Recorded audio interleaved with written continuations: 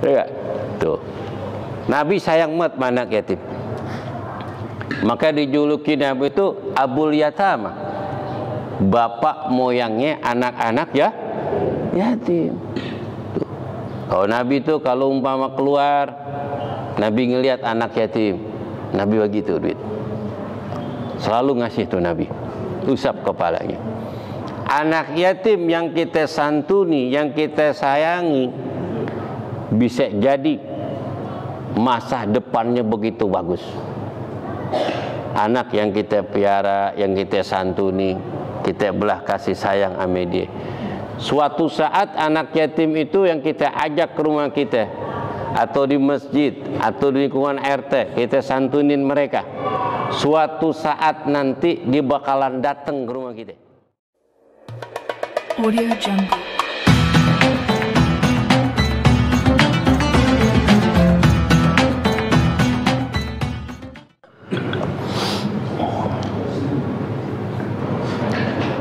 Bismillahirrahmanirrahim. Assalamualaikum warahmatullahi wabarakatuh. Alhamdulillah الحمد لله رب العالمين والعاقبة للمتقين ولا عدوان إلا على الظالمين والصلاة والسلام على أشرف الأنبياء والمرسلين سيدنا ومولانا محمد وعلى آله وصحبه ومن تبعهم بإحسان إلى يوم الدين أما بعد yang kita muliakan para asatid, para pujian, para orang tua khusus ketua Masjid Jami Nur Madinah Al Mukarram Al Ustaz Aizat Bapak Haji Madinah bin Haji Madari dan keluarga besar daripada almarhum Bapak Haji Madari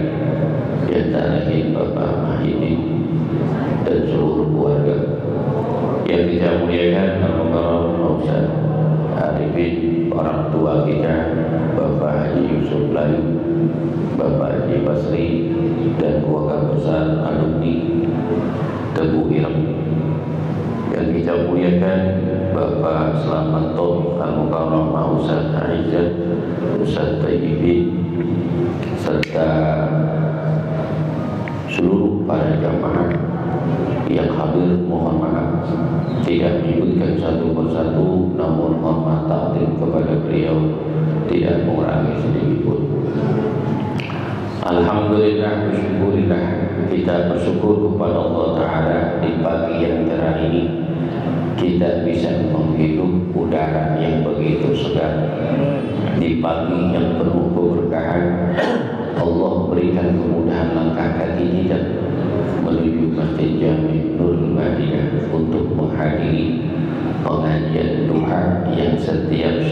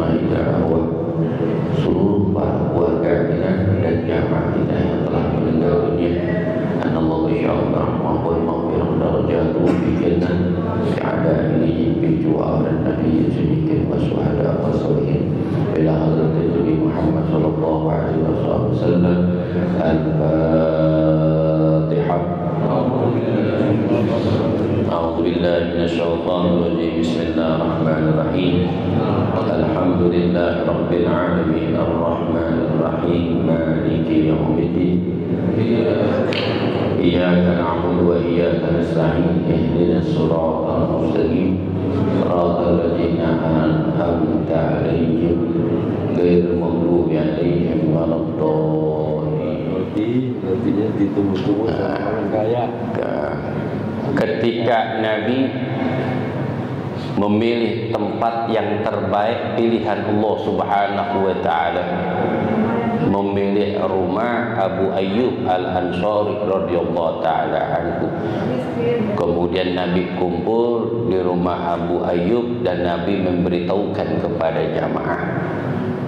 Wahai kaum Ansor dan Muhajir Aku memilih rumah Abu Ayyub Al-Ansari yang aku akan singgah di rumahnya. Jika kalian mempunyai makanan yang telah disiapkan, aku tidak bisa untuk hingga ke rumah satu-satu di antara kalian. Karena yang menyambutku orang yang begitu bah, banyak ada 773 sahabat yang kumpul menyambut kedatangan Nabi Muhammad sallallahu alaihi wasallam dan mereka membuka pintu lebar-lebar disiapkan makanan dan hidangan untuk Nabi sallallahu alaihi wasallam Kemudian Nabi mengumpulkan semua makanan hidangan di rumah halaman Abu Ayyub Al-Ansari.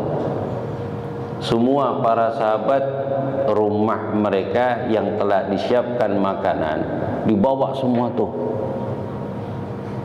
Kumpulin tuh semua.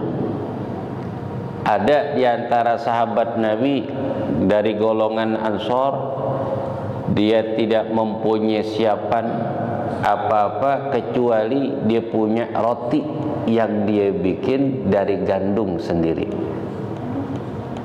dari tanaman gandum yang ditanam kemudian dijadikan roh roti untuk Nabi Muhammad SAW. Kakala roti itu diletakkan di tengah para sahabat. Kemudian sahabat menumpuk-numpukin supaya roti yang kering yang kelihatannya kagak bagus supaya kagak dili dilihat. Tapi Nabi Sayyidul Mukasifin Nabi orang yang pandangannya tajam bisa melihat hati dan pikiran manusia dengan izin Allah. Nabi perhatiin Kemudian yang pertama kali Nabi ambil bermacam-macam hidangan yang ada di hadapan Nabi Ternyata roti keringlah yang diambil di bawah tumpuk-tumpukan makanan-makanan yang enak. Paling bawah tuh. Kalau kita kan cari yang segar dulu ya. Yang segar, yang paling enak. Tapi Nabi roti yang paling kering yang beli bawah yang keras. Diambil oleh Nabi. Dipotek orang sini potek. Dipotek dikobek. Pas Nabi pengen makan tiba-tiba ada suara bising di luar. Anak-anak kecil. Di mana-mana anak kecil kalau ada makanan apalagi mauludan dia paling rame dah tuh. Dia yang paling Kau udah dibagiin udah tenang dia.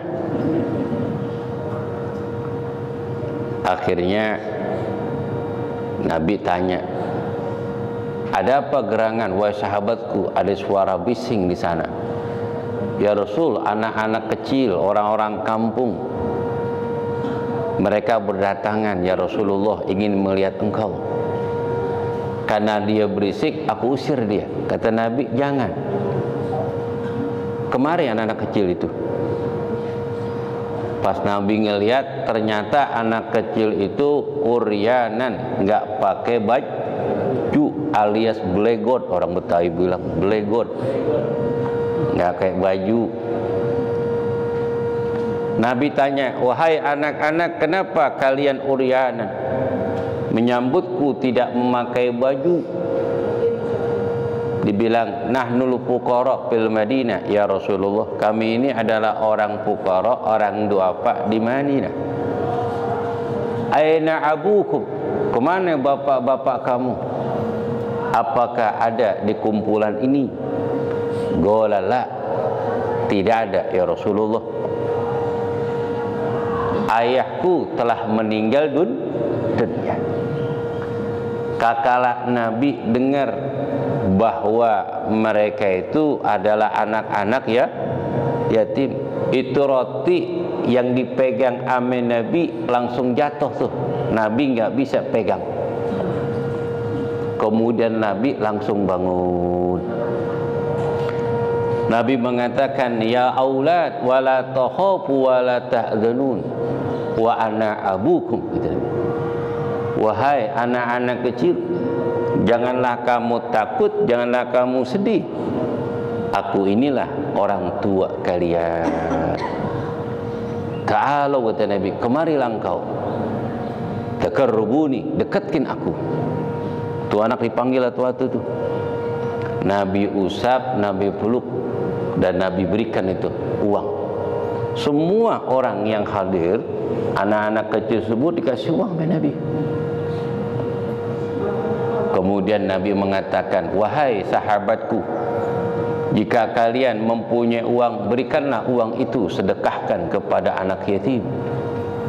Jika kalian mempunyai baju yang layak dipakai, berikanlah kepada anak yatim. Jika engkau punya makanan lebih, berikanlah kepada mereka anak yatim." Kemudian turun ayat Al-Qur'an yas'alunaka 'anil yatama qul islah lakum khair lakum wa in tukhalitu fa ikhwanukum.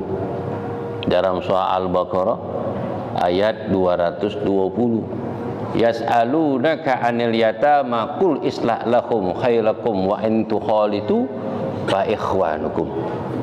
Mereka bertanya kepada engkau wahai Muhammad perihal anak yatim Kul islah lakum khair lakum. Katakanlah Muhammad, jika kamu mau mengurusi mereka, menyantuni mereka, belah kasih sayang kepada mereka, khairul lakum, baik bagi kamu. Wa in tukhalitu fa ikhwanukum. Jika kalian mau bergabung bergaul dengan mereka sungguhnya mereka itu adalah sebagian dari saudara kamu. Dulu sebelum datangnya Islam ke Madinah, sebelum hijrahnya Nabi besar Muhammad sallallahu alaihi wa alihi wasallam di kota Mekah maupun di kota Madinah, orang-orang yatim dipandang sebelah mata oleh mereka. Anak-anak mereka dibatasi bahkan dilarang anak mereka bergaul dengan anak-anak yatim para duafa di lingkungan mereka. Kakala datang Islam yang dibawa oleh junjungan Nabi besar Muhammad sallallahu alaihi wasallam itu tidak ada perbedaan di antara mereka setara di antara mereka inna akramakum indallahi attaqum sungguhnya orang yang paling mulia di antara kalian adalah orang-orang yang bertakwa. Bahkan di dalam hadis Nabi SAW Nabi bersabda ana wa kafal yatim kana ma'i fil jannah. Aku kata Nabi bersama orang-orang yang menyantuni anak yatim kelak bersamaku nanti di dalam syurga. Nabi mengisyarahkan dengan dua jarinya jari tengah ame jaraji tunjuk wa farraju bainahuma kemudian Nabi apa? Menggerakkan di antara keduanya. Berarti sangat dekat orang yang menyantuni menyayangi anak ya yatim. Tuh. Makanya Masjid Nurul Madinah ini almarhum Bapak Haji Mahdali setiap bulannya apa? Menyantuni anak-anak ya yatim banyak makanya tambah berkah. Mana kosomalun min sodakotin nggak bakalan berkurang kata Nabi. Harta yang disedekahkan. Bahkan ada orang yang sakit. Ketika ada orang sakit temennya juga sakit. Ditelepon. Bilang pinjam uang 20 juta. Karena istri saya lagi sakit kata temennya ini saya nggak bisa. Saya juga lagi di Singapura lagi ngobatin istri saya lagi sakit. Nggak bisa. Karena perluan istrinya lagi sakit tuh di ruangan dengar. Ditanya siapa yang nelfon? Ini mah biasa temen. Kenapa? Istrinya lagi sakit. Mau dioperasi butuh duit bakal operasi. Jadi di rumah sakit mau ditangani oleh dokter tapi harus bayar dulu. Apa kata istrinya? Kasih. Kah kata suami kita butuh duit. Kasih orang yang lebih perlu daripada kita. Tuh istri yang soleha tuh. Alham kalau ada lagi yang ini kabarin gua. Kalau enggak untuk Aji Layu bukan saya. Untuk Aji Layu Siap, siap. tuh istri yang soleha tuh. Hari ditransfer tuh. Pas ditransfer selesai besok mau dioperasi. Karena tumor di, di rahimnya. Pas mau dioperasi besok dicek dicek lab semuanya periksa semua dengan alat yang tercanggih ternyata udah hilang. Ih hilang dokter juga bingung. Ini harus dioperasi kenapa kok hilang? Orangnya juga kaget. Ternyata dengan sebab sedek da'u amraduhum bis obatin penyakit kamu dengan sedek sedekah kalau sedekah ame rumah sakit ame dokter udah kaya udah kah tuh sedekah ame yatim doa apa. Kasih. Maka ada ayat Al-Quran surah Baqarah 115 Yas'alunaka madha yunfikun. Mereka datang kepada engkau wahai Muhammad bagaimana caranya untuk membelanjakan harta.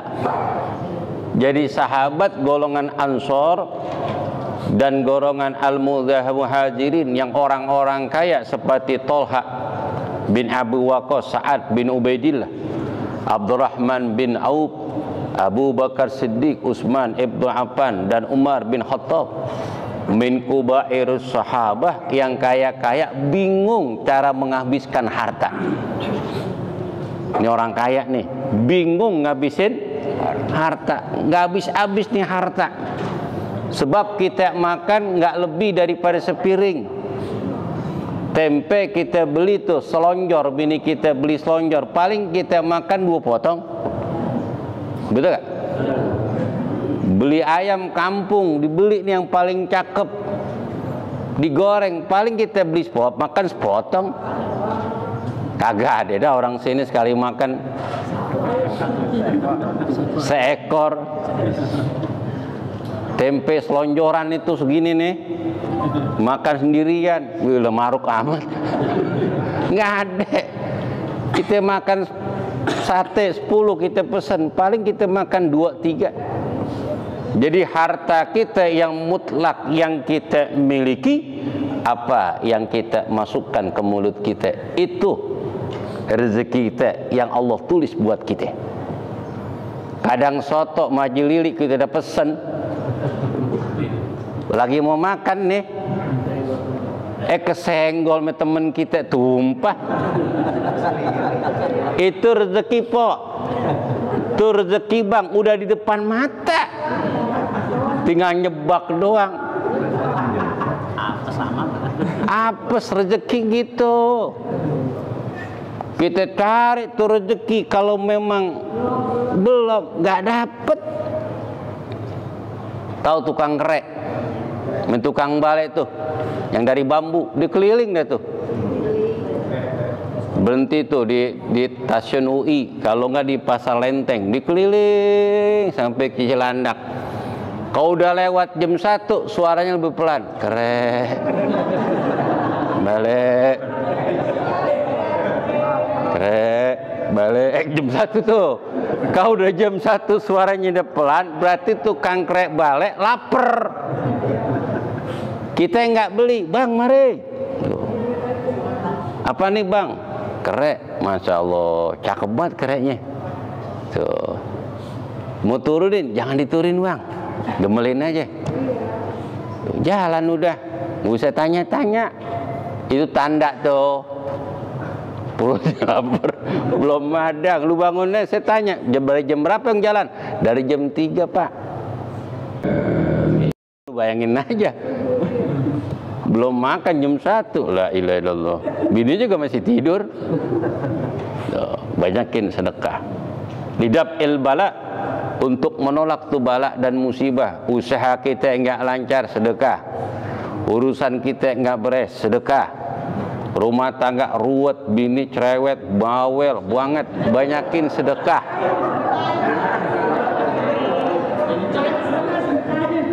Banyakin sedekah. Ke siapa, Sar? Ke bini kita. Biar diem. Bagi dia diem. Mertua perutnya sakit, lu usapin, ame kasih merahan tuh, Trrrt, hilang. Sahabat bertanya, "Ya Rasulullah, bagaimana caranya untuk membelanjakan harta?"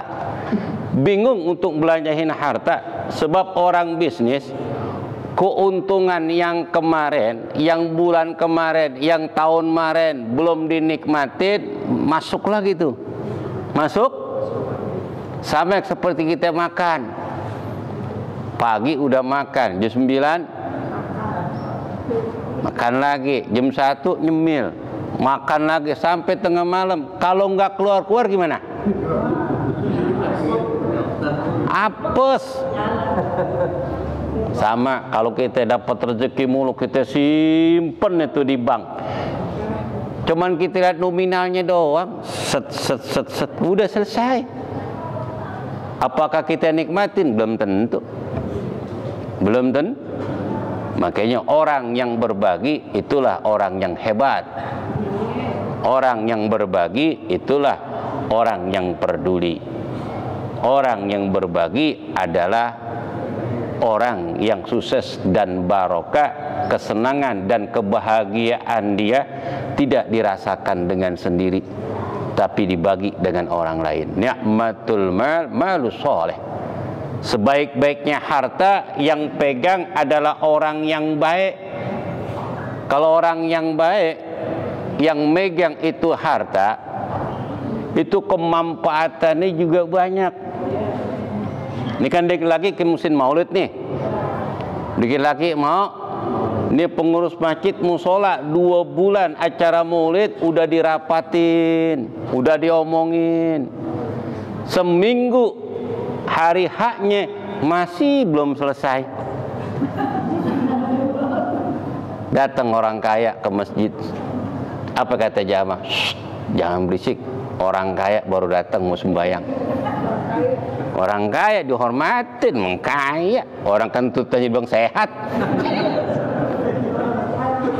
Orang kaya mungkin jadi orang kaya. Harus kita orang kaya. Walatan sanasiba kamina dunia kata Allah. Jangan lupa bagian engkau di dunia. Cari dunia buat akhir akhirat nih. Kayak bangun masjid ini. Karena punya duit yang punya jadi masyarakat nggak puyeng nggak diketok-ketok pintunya mulu. Beras beras. Ke zaman dulu. Karena yang punya orang kaya gampang. Tinggal diputer-puter doang tinggal pindah-pindahin. Jadi gak? jadi makanya jadi orang kaya. Orang kaya itu tinggal balik doang tangan. Kelar beres. Tinggal nunjuk press lihat gak? udah acara selesai ada apa pengurus masjid kumpul sini udah jadi 11 ini masalah maulid kapan acara maulidnya? minggu depan. Jadiin udah. Peluannya apa aja? Ada ini perkosaannya ini nih udah besok ke rumah aja. Siapin rekeningnya. Berapa? Tuh beres gak? Beres gak? Yang rapat marbot. Yang hadir muazin sama tukang doa imam rawatib sama ketua masjid enggak kelar-kelar ke, ke sisanya jamaah yang halus-halus Lah, nggak kelar-kelar itu. Atu gaban datang, wah keren. Jadi gak? Jadi tuh. Islam tuh berkembang di kota Mekah dan Madinah bisa bertahan 13 tahun. Karena ada Abdurrahman bin Auf sahabat Nabi yang tiga kali bangkrut memperjuangkan agama Allah, mendampingi Nabi. Sekarang Abdurrahman bin Auf sudah meninggal dunia lebih 104.400 tahun lalu. Tapi hartanya dinikmatin oleh kita. Tuh korma yang dibagikan makanan fisabilillah. Pembangunan masjid-masjid tuh dari negeri Arab tuh duit wakaf Abdurrahman bin Auf. Sampai sekarang ribuan triliun alham orangnya mana? Tuh manfaatnya besar. Khairun nas anfahulin nas. Mereka bertanya kepada engkau bagaimana caranya mengimpakkan harta bingung sahabat bingung orang kaya menghabiskan harta. Apalagi orang kaya baik bergaul dengan orang yang soleh mempaat. Ini ngaji hari Sabtu besok Sabtu depan kira-kira siapa yang berikan konsumsi? Orang kaya itu bilang paling 3 juta. Kecil gak? kalau di nongkrong di kafe temen-temen nih 30 juta habis cuman begitu doang hura-hura doang. Pahala kagak dosa iya. Tuh malah berkah. Tuh. paling gaul sama orang yang soleh sama orang-orang yang baik. Ya paling lontong lagi. Bakwan. Makanya ngaji Nur Madinah enak tuh. Ada ada apa? Tupat ada soto. Warga kagak datang. Rugi rugi rugi rugi ilmu dapat pengalaman dapat kali aja jodoh dapat di sini. Ya kita nggak tahu. Kita kagak tahu nggak tahu. Namanya jodoh kita nggak tahu. Kadang nyari keliling dapat eta tuh tangga sebelah. Jodoh kita di situ. Cuman beda RW doang. Tuh yang namanya rezeki kita nggak tahu yas'alunaka madza yunfikun. Kul katakan Muhammad impakkan harta kamu lil walidain. Selayaknya harta yang kau miliki impakkan untuk kedua orang tuamu. Tuh Allah bilang tuh harta yang kau punya berikan kepada kedua orang tuamu. Tiga empat perkara yang ada di dunia berat sedikit kiatnya banyak. Pertama ngasih orang tua. Ngasih orang tua nih 300 ribu 3 bulan kayaknya cukup.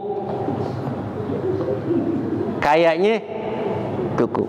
Orang tua kita kasih dikit gopek paling gede juga sejuta. Itu gue ngomong mulu saudara-saudaranya sama abang-abangnya. Ngomong di grup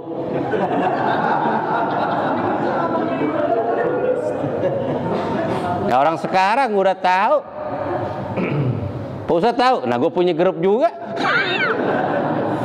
Tuji, babak datang tuh gua kasih juta. La ilah. Setahun sekali gue kagak lu ngasih. Betul gak? Di grup pada tahu semua. Di grup keluarga tahu, di grup mainnya juga tahu. Pagi datang barokah, alhamdulillah berbagi sama orang tua. Cia salam. Malah lu bejat. Bagi yang tiga nih, yang empat yang berat bagi orang tua.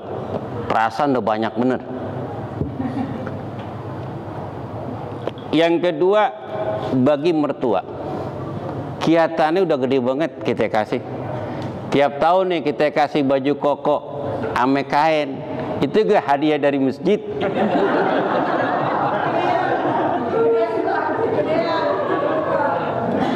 Kelihatannya cakep banget. Kelihatannya cak, cakep. Gue taker orang kalau ngasih dari masjid, dari musola. bahannya tahun diri gerah ya namanya kayak uang terawih betul gak tuh jangan kasih orang tua kita yang begitu dikasih. Nyari yang bagus. Kita ajak ke Tanah Abang tuh bulan Rejab. Jangan pas lebaran bulan Rejab.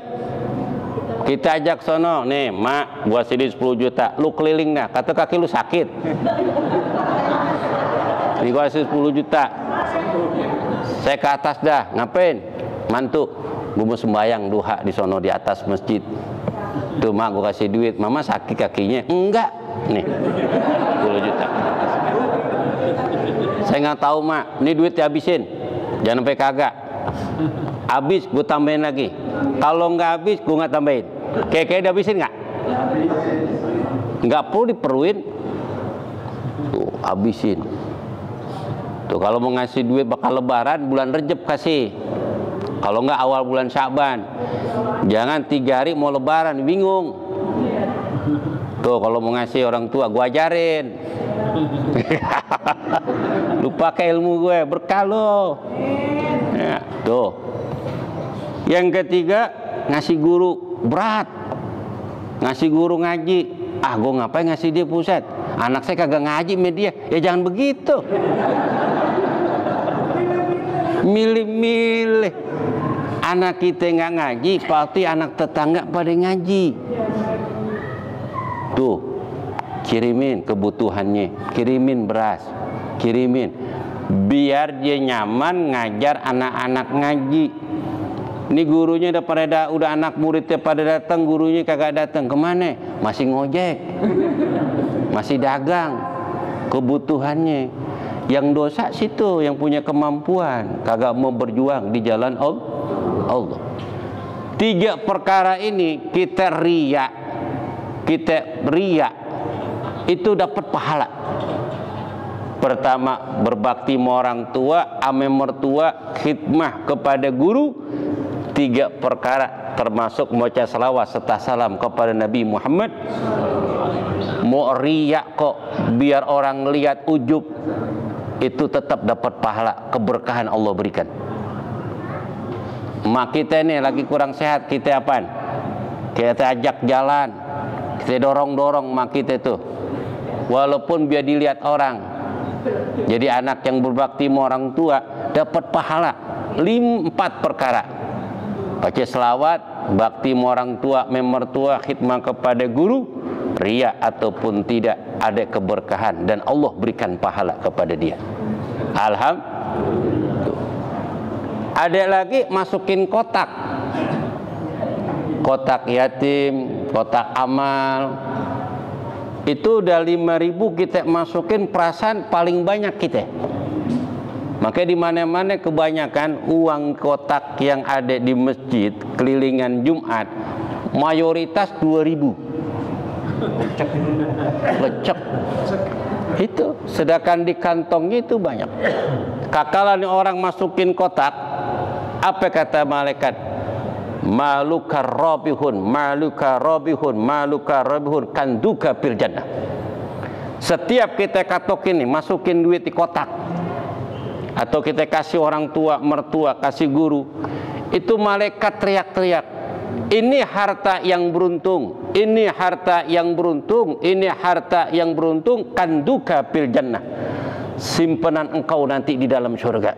Amin. Wa yubarik fi Allah memberikan keberkahan apa yang kau simpan wa yadulhu bil hasanat. Allah ganti dengan kebaikan. Alham. Tuh malaikat sambil nyatet tuh malaikat rokib dan atid. Alham. Tuh. Akhirnya turun ini ayat Al-Quran. Kemudian Nabi peluk tuh anak-anak yatim. Kemudian para sahabat mengambil uang harta mereka baju begitu kepada anak-anak yatim. Di dalam hadis Nabi SAW man qabatal yatimah minal muslimina ta'amahu wa sarabahu ajhulullahu jannata al-batah. Siapa saja yang menyantuni belak kasih sayang yang menanggung anak yatim daripada kaum muslimin makan dan minum dan kebutuhannya. Allah akan masukkan dia ke dalam surga sekaligus. Surga yang Allah siapkan jalan menujunya yang tidak bakalan masuk kecuali orang-orang yang menyentuh di anak yatim. Alham sama seperti pintu royan. Orang yang suka puah puasa pintu royan itu Allah akan buka bagi orang-orang yang berpuasa. Kalau orang yang enggak puasa dia akan tidak akan masuk ke pintu royan dan pintu itu akan tertutup. Jadi menyantuni anak yatim karena keyatimannya, karena kelemahannya, karena kekurangannya. Bahkan di dalam hadis Nabi, man masa ra'sal yatim wa yadurru alaihi kana likulli sya'ratin hasru hasanat. Barang siapa kata Nabi yang mengusap kepala anak yatim mengusap kepala ya anak yatim diputar tuh rambutnya diusap. Menyentuh barang siapa menyentuh kepala anak yatim dan mengusapnya setiap satu helai rambut yang nempel pada kepala anak yatim adalah sepuluh kebaikan. Alham tuh satu helai rambut itu. Sepuluh kebaikan. Kita usap dengan penuh kasih sayang. Makanya ketika santunan cari anak yatim yang rambutnya gondrong.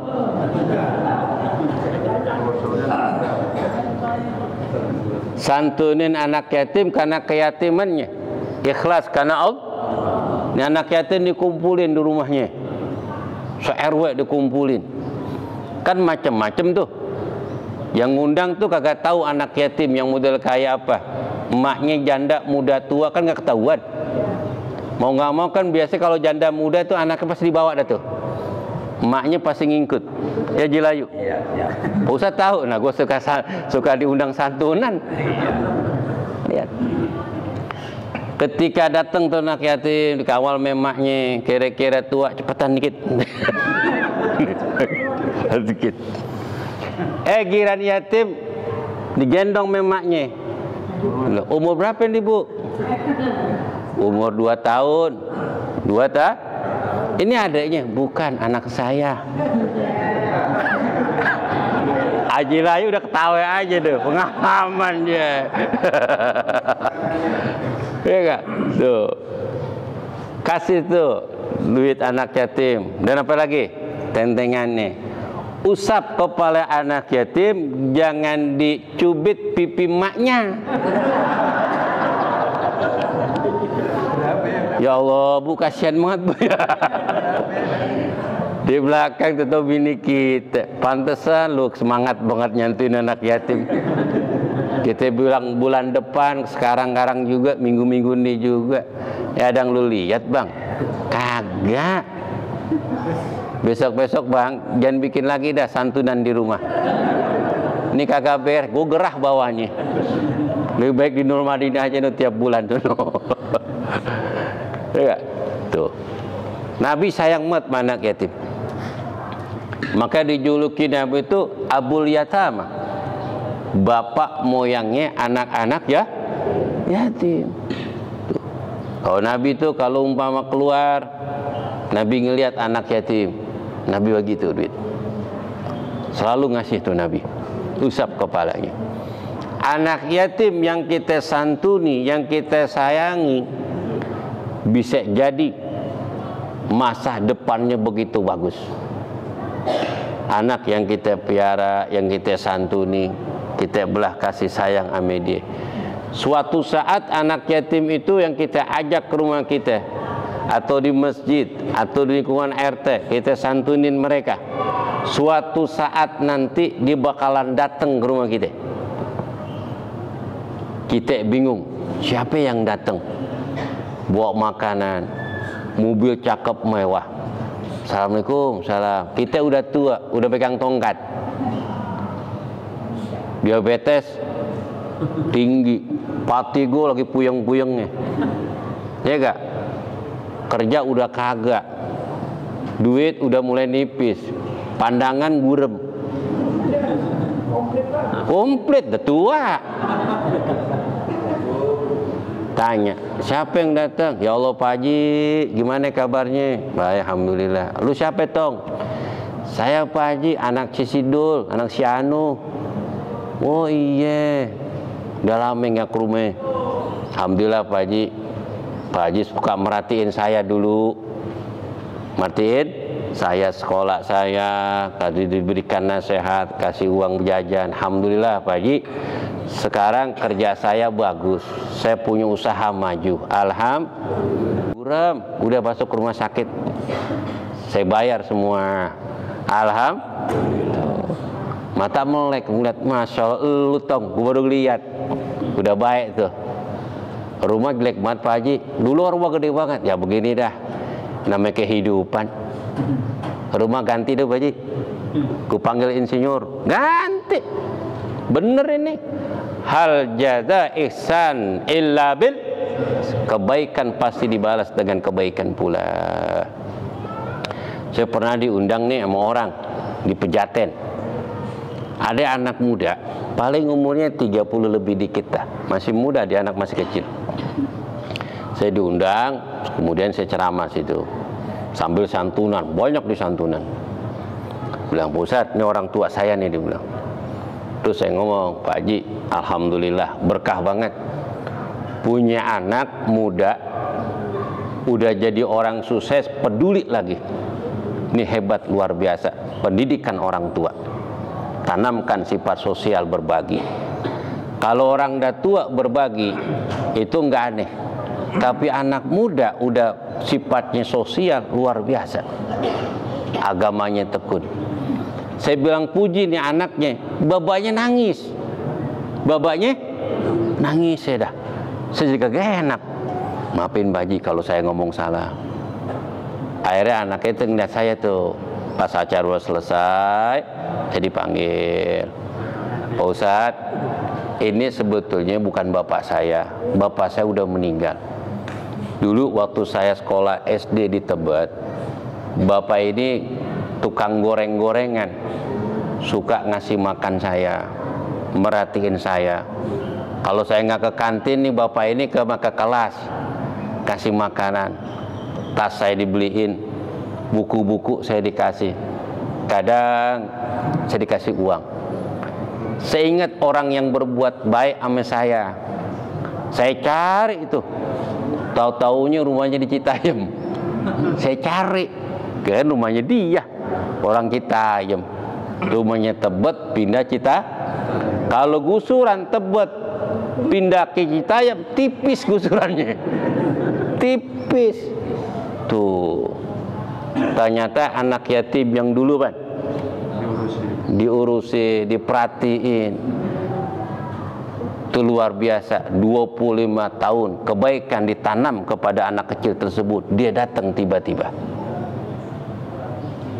Tuh rumahnya dibangun, dirapiin, dikasih bikin kerjaan. Di akhir hayatnya ditanggung biaya hidupnya. Alhamdulillah. Tilka ayam nuda wiluha linnas. Begitulah kesuksesan, kehancuran diputarbalikkan oleh Allah Ta'ala agar mereka mengambil suatu pelajaran. Sekarang kita memberi, suatu saat kita menerima. Kita ngelihat orang susah, kesusahan, kita belah kasih sayang sama dia. Suatu saat nanti orang ngelihat kita susah, kita bakal ditolong sama orang lah lain.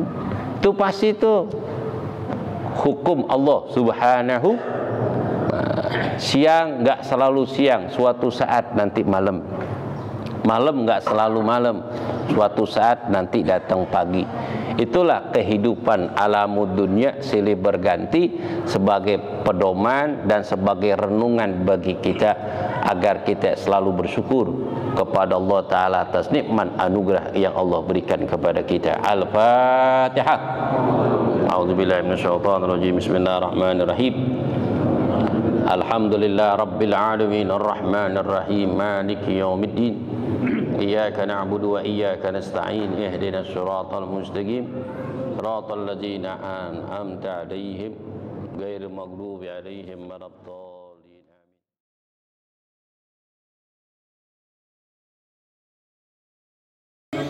YouTube. Mari mari mari makan.